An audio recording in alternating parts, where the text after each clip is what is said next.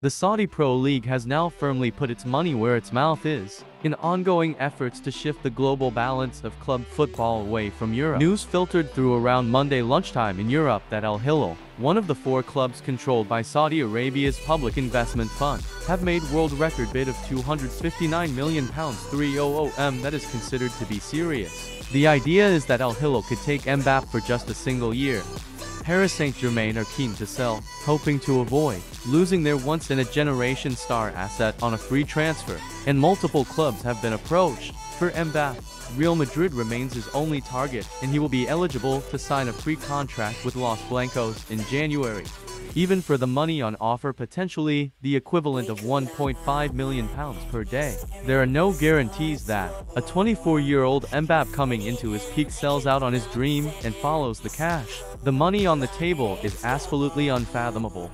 The forward has one year remaining on his contract and is unwilling to sign a new one with PSG, believing he has already agreed to join Real Madrid for free next summer.